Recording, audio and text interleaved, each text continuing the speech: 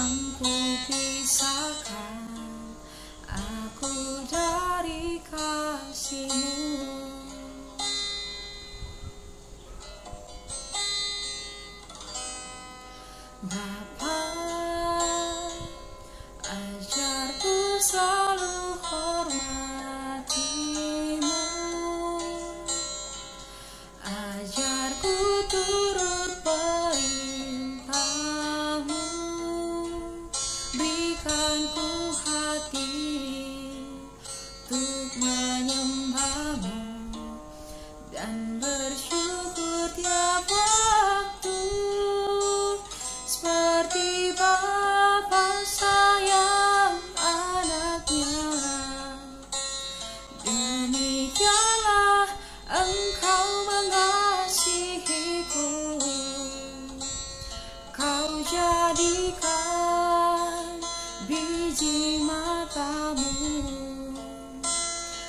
over.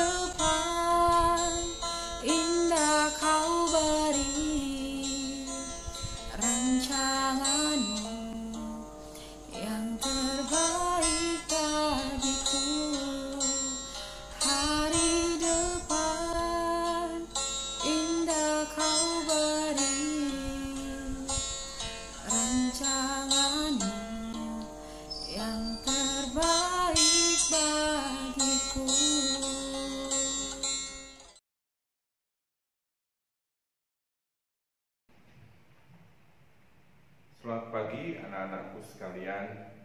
Ya, mudah-mudahan di hari ini kita tetap sehat, kita tetap baik, dan kita tetap semangat. Pagi ini kita akan memasuki perkataan yang kedua dari Tuhan Yesus dalam masa penghayatan akan penderitaan Tuhan Yesus di atas kayu salib. Namun sebelumnya mari kita berdoa bersama. Tuhan Allah Bapa kami, Allah yang menciptakan kami, Allah yang menciptakan segala isi dunia, Engkau juga yang menyertai dan memberkati kami. Kami bersyukur ya Tuhan kalau Engkau merelakan dirimu datang kepada kami menjadi manusia bahkan Engkau rela disiksa, Engkau rela menderita di atas kayu salib demi kami manusia. Biarlah kiranya ya Tuhan apa yang sudah Engkau nyatakan sebagai bukti kasih-Mu kepada kami, kami mau hargai itu dengan baik, dengan cara kami bisa menghayati segala penderitaan Tuhan dan menjaga kehidupan kami dengan baik seperti yang Tuhan mau. Berkatilah pagi ini kami akan belajar perkataan kedua dalam masa penghayatan akan penderitaan Tuhan Yesus di atas kayu salib. Kiranya Tuhan yang menolong kami untuk bisa memahami dengan sungguh makna dari setiap perkataan itu, sehingga kami punya pengertian yang utuh akan penderitaan Tuhan di atas kayu salib, dan dengan pemahaman yang utuh itulah kami bisa menjaga diri kami, hidup kami, pikiran kami sesuai dengan kehendak-Mu. Berbicaralah kepada kami ya Tuhan melalui firman-Mu, kami siap untuk mendengarkannya. Dalam nama Yesus kami berdoa. Amin. Nah anak-anakku sekalian hari ini kita akan melihat dari Lukas 23 ayat 42 dan 43. Lukas 23 ayat 42 dan 43 firman Tuhan mengatakan demikian. Lalu ia ya salah satu penyamun itu berkata, lalu ia salah satu penyamun itu berkata, Yesus, ingatlah akan aku apabila engkau datang sebagai raja. Kata Yesus kepadanya, Aku berkata kepadamu sesungguhnya hari ini juga engkau akan bersama-sama dengan aku di dalam Firdaus. Ya. Nah, anak-anakku sekalian, kalian mungkin pernah mendengar atau membaca satu kisah tentang Tiana Mars di Selandia Baru. Satu masa perusahaan mobil BMW di Selandia Baru dalam rangka memperingati hari April Mop ya. April Mop kita tahu ya. Yang orang suka menipu, suka membohongi dan lain sebagainya. Dalam peristiwa April Mop itu perusahaan mobil BMW membuat sebuah iklan di New Zealand Herald ya di harian New Zealand. Di sebuah koran walaupun mungkin iklannya tidak terlalu besar tapi cukup jelas walaupun dibuat seakan-akan itu menipu. Dan iklan itu menawarkan seperti ini. Buat kamu yang datang pertama ke dealer dengan cara menukarkan mobil lama dan membawa potongan iklan ini, maka akan diberikan BMW seri terbaru. Semua orang tidak ada yang peduli. Semua orang tidak ada yang memperhatikan iklan itu karena dianggap ini hanyalah iklan April Mop ya. Nanti jangan-jangan sampai di sana kita nggak dapat apa-apa. Sampai satu masa di pagi itu ada seorang wanita bernama Tiana Mars. Dia datang ke perusahaan BMW itu ke dealernya. Dia bawa mobil lamanya ya. Dan dia bawa potongan iklannya dan kita bisa tahu apa yang terjadi. Dia mendapatkan satu buah mobil BMW versi terbaru. Itulah sebabnya April Mop bagi Tiana Mars adalah satu waktu yang tidak akan pernah dia lupakan karena mobil lamanya ditukar dengan mobil terbaru lagi dan BMW loh, begitu ya. Atau begini juga, saya pernah punya satu pengalaman berkenaan dengan permintaan. Ya. Saya dari dulu paling tidak suka belajar menggambar. Bukan tidak suka, saya tidak bisa memang. Sampai satu masa seperti kalian gini di SMA, kita disuruh bikin apa pakai cat air. Bayangkanlah ya saya pakai pensil warna aja salah-salah apalagi pakai cat air. Mau bikin gradasi warna. Jadi lingkaran kecil lingkaran agak besar agak besar agak besar sampai lingkaran besar begitu dibuat lalu kita bikin gradasi warna. Kalau lingkaran kecil dikasih warna biru pekat maka setiap kali lingkaran itu akan ditambahkan 4 tetes warna putih maka dari yang biru pekat menjadi biru tidak terlalu pekat, tidak terlalu pekat sampai akhirnya menjadi putih. Dan itu gradasinya kita akan dinilai seperti itu. Dan apa yang terjadi ketika punya saya selesai dikumpulkan satu demi satu dipanggil oleh gurunya. Dan gurunya memberi komentar setiap lukisan. Sampailah kepada lukisan saya, dia panggil lalu dia tanya, "Har, har, kamu ini perbedaan warna tidak ada, kebersihan nggak ada, kerapihan juga nggak ada. Mau minta berapa kamu untuk nilai menggambar ini? Nah, teman-teman sebenarnya saya nggak berani untuk minta banyak-banyak ya. Tapi kan waktu itu teman-teman suka menggoda ibu guru ini lalu dia bilang, coba minta 100. Saya bilang sama ibunya, Bu, saya nggak muluk-muluk minta 90 aja sambil senyum. Tapi ibunya bilang, ya sudah saya kasih sebaliknya ya saya kasih 60 dan saya dapat 60. Walaupun sebetulnya tidak layak dapat itu. Nah teman-teman sekalian berkenaan dengan perkataan Yesus yang kedua di atas kayu salib kita juga akan melihat di ayat 42 dan 43 ini bagaimana permintaan seorang penyamun ya seorang penjahat yang disalibkan di salah satu sisi, di salah satu sebelah ya kanan ke atau kiri Tuhan Yesus itu.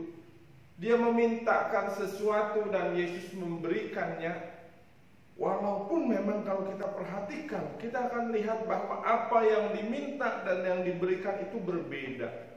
Tetapi mari kita perhatikan baik-baik karena di sinilah luar biasanya Yesus itu. Ayat 42 dan 43 kalau kita bandingkan ya nanti kita akan lihat slide-nya. Di ayat 42 penyamun itu meminta Yesus ingatlah akan aku yang dia minta pertama adalah kepada Yesus adalah Yesus ingatlah akan aku. Tetapi ayat 43 mengatakan kepada kita apa jawaban Yesus? Apakah Yesus menjawab, ya aku pasti ingat kamu? Oh enggak ternyata. Yang Yesus berikan kepada penyamun itu, kepada penjahat itu lebih dari apa yang dia minta. Karena yang diminta adalah Yesus ingat sajalah sudah cukup karena aku penjahat Gak perlu aku tempat yang bagus di surga nanti, gak perlu aku dapat posisi yang indah. Yang penting kamu ingat sajalah. Dia sadar diri dia seorang penjahat. Tetapi yang Yesus jawab kepada dia apa? Di ayat 43 dikatakan, engkau akan ada bersama dengan aku. Engkau akan ada bersama dengan aku. Yang diminta Tuhan, saya sadar saya siapa, saya penjahat. Ingat saja sudah cukup buat saya. Tapi Yesus bilang, nah aku bukan hanya akan mengingat engkau, tapi di mana aku berada, di situ pun engkau berada. Yesus memberikan lebih dari apa yang dia minta. Lalu yang kedua di ayat 42 yang diminta apa? Yesus ingatlah akan aku apabila nanti engkau datang bersama sebagai raja. Apabila nanti engkau datang. Tetapi yang Yesus katakan apa? Hari ini juga menunggu itu tidak menyenangkan. Penjahat ini tahu betul yang dia minta. Tuhan ingat saya nanti kalau engkau datang sebagai raja. Tetapi yang Yesus katakan, yang diberikan oleh Yesus adalah Hari ini juga, bukan nanti, sekarang. Engkau akan bersama-sama dengan aku. Yang Yesus berikan jauh lebih dari apa yang diminta oleh penjahat itu. Dan yang ketiga kalau kita perhatikan ya, yang diminta oleh penjahat itu, ingatlah bila engkau datang sebagai raja. Ingat sajalah kalau nanti kamu datang sebagai raja. Tetapi yang Yesus katakan apa? Engkau bersama-sama dengan aku di dalam kerajaanku di dalam Firdaus. Yang diminta hanya sederhananya. Ingat aku nanti kalau kamu datang sebagai raja. Tetapi yang Yesus jawab, yang Yesus berikan adalah sekarang bukan nanti Hari ini juga engkau akan bersama dengan aku. Bukan hanya akan diingat, tapi bersama dengan aku. Di dalam kerajaanku, di dalam Firdaus. Dan ini luar biasa sekali. Dari hal ini kita bisa mendapatkan satu pelajaran penting tentang karakter Kristus yang luar biasa ini bahwa tidak jarang ya. Yang pertama kita bisa pelajari bahwa tidak jarang Tuhan itu memberikan lebih dari apa yang kita minta. Permintaan-permintaan kita kadang hanya sederhana. Permintaan-permintaan kita hanya tentang hidup di dunia ini. Permintaan-permintaan kita hanya tentang keinginan, kebutuhan kita saja yang sangat-sangat pendek, sangat-sangat fana. Tetapi yang Tuhan berikan ada masanya lebih dari apa yang mampu kita bayangkan. Luar biasa sekali karakter Kristus ini. Bahkan dalam penderitaannya di Kaisaria, penjahat itu yang sudah seharusnya dia layak, ah udahlah kamu mah layak dihukum. Tetapi dia memberikan lebih dari apa yang sanggup penjahat itu bayar. Dan ini luar biasa. Kehidupan kita pun demikian di hadapan Tuhan. Tuhan sering kali memberikan lebih dari apa yang kita minta. Dan yang kedua yang kita bisa pelajari dari perkataan ini adalah Tuhan memberikan apa yang kita butuhkan, bukan hanya sekedar apa yang kita mintakan. Kadang yang kita minta bukan yang kita butuh, tetapi Tuhan memberikan apa yang kita butuh. Yang diminta oleh penjahat ini nanti ingat sajalah sudah cukup bagi kami. Tetapi yang diberikan Tuhan bukan hanya diingat yang dibutuhkan, tetapi engkau bersama-sama dengan aku di dalam Firdaus. Itu yang lebih dibutuhkan dan itu yang Tuhan berikan.